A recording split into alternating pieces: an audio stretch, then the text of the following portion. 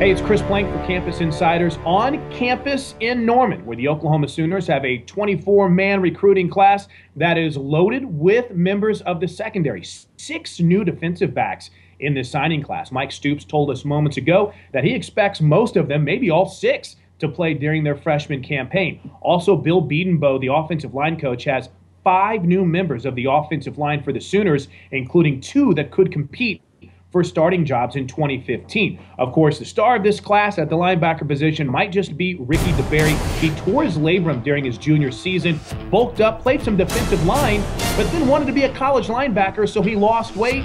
That's what he signed as today, a linebacker. He could end up being the standout of this recruiting class for the Oklahoma Sooners. As always, keep it right here for all the latest signing day information at campusinsiders.com.